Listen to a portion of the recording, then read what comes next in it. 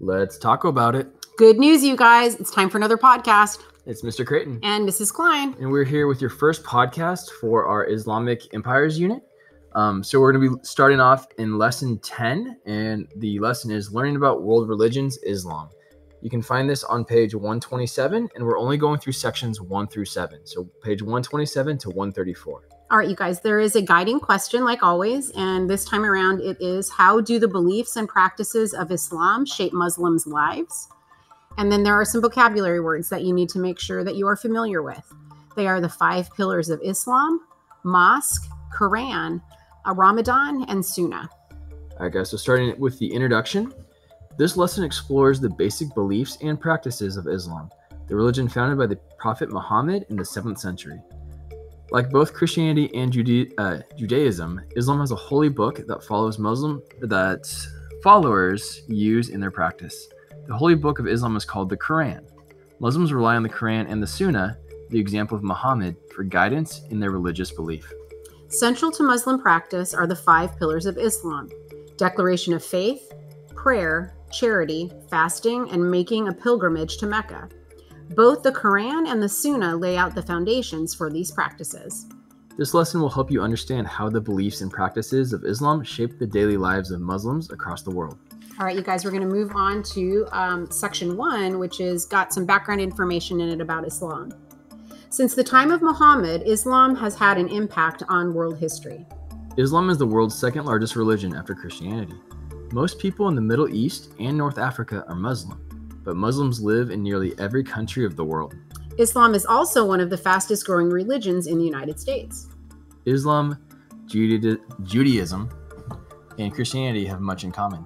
For instance, members of all three faiths are monotheists. Monotheists. Monotheists. There we go. I can say monotheistic. I just can't say that word. Go. They believe in one God and trace the origins to Abram, Abraham. Muslims consider Jews and Christians to be people of the book. Muslims believe that God revealed messages to Moses, Jesus, and others were compiled um, into holy books, just as the Quran came from God to Muhammad. For Muslims, however, the Quran contains God's final revelations to humanity. All right, moving on to the second section, which is all about the Quran and the Sunnah.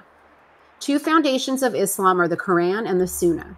According to Muslim teachings, God describes his laws and moral teachings or the straight path through the Quran. Regarded as the direct word of God, the book holds a central position for Muslims everywhere and even inspires Muslim art, poetry, and literature. The Sunnah, which means practice, is the example of, that Muhammad set for Muslims during his lifetime. What Muhammad did or said in certain situations has set a precedent or guideline for all Muslims. For Muslims, the Sunnah is second only to the Quran in religious authority. The most basic acts of worship for Muslims are called the five pillars of Islam. The Quran provides general commands to perform these five duties, where the Sunnah explains how to perform them based on Muhammad's examples. All right, so now you guys, we're going to start talking about the different pillars of Islam. The first pillar is called Shahada. The first pillar of Islam is Shahada, the profession or declaration of faith. The first part of the Shahada affirms monotheism. There is no God but God. The second part of the Shahada identifies Muhammad as God's messenger, and Muhammad is the messenger of God. The meaning of Shahada is that people not only believe in God, but also pledge their submission to Him. Muslims also believe in the idea of an unseen world of angels and other beings. Muslims also believe that all souls will face a day of judgment. On that day, God will weigh each person's actions. Those who have believed in God and lived according to His rules will be rewarded with paradise. All right, you guys, the second pillar of Islam is um, salat, which means a daily ritual prayer.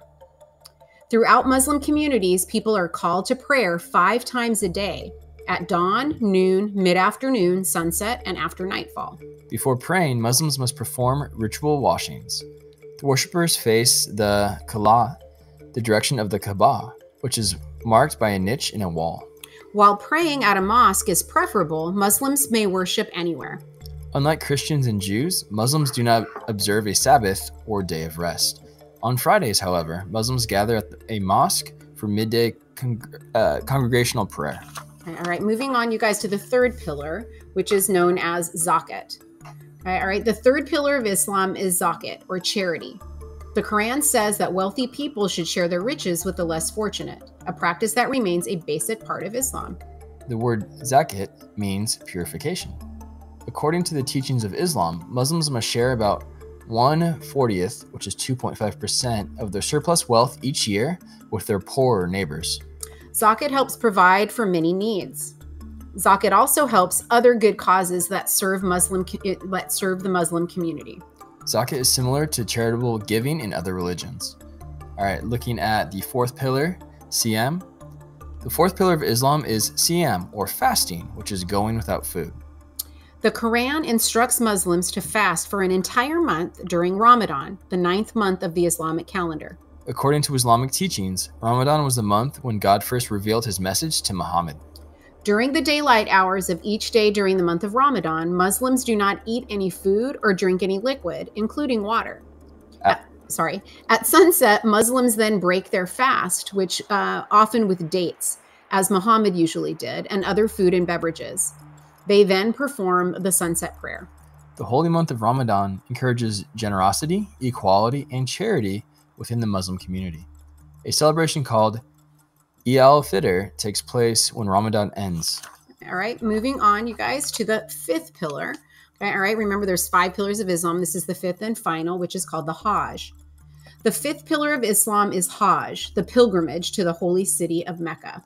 All adult Muslims who are financially and physically able to make the journey are expected to perform the Hajj at least once during their lifetime. In Mecca, pilgrims follow what Muslims believe are the footsteps of Abraham and Muhammad, and um, to, just so that they can grow closer to God. Before leaving Mecca, each pilgrim circles the Kaaba seven more times. Muslims around the world celebrate this farewell day as Eid al Adha. Okay, you guys, in this lesson, you learned about the basic beliefs and practices of Islam, one of the world's major religions. Islam has had has more followers than any faith except for Christianity. All right, some background on Islam. Islam, Judaism, and Christianity share many similarities. People of these faiths believe in one God and have holy books. Muslims accept the Jewish and Christian scriptures as earlier re- uh, revelations by God. All right, the Quran and Sunnah. The Quran is the main Muslim scripture. It contains God's final messages to humanity and guides Muslims on how to live their lives. Additional guidance comes from the Sunnah, or the practice, the example of Muhammad. The Hadith, which is a tradition, provides a written record of sayings and deeds of the Prophet. All right, and finally, the five pillars of Islam. Islam is a way of life as well as a set of beliefs. Muslims follow the five pillars of Islam. The five pillars are the, shahad, the Shahada, declaration of faith, salat, daily worship, zakat, charity, siyam, fasting, and hajj, which is the pilgrimage to Mecca. All right, you guys, remember now there was that guiding question that you should be able to address, which had to do with how do the, uh, the beliefs and practices of Islam help shape Muslim lives? And then a quick review of the vocabulary words the five pillars of Islam, mosque, Quran, Ramadan, and Sunnah. All right, you guys, best wishes. Barf.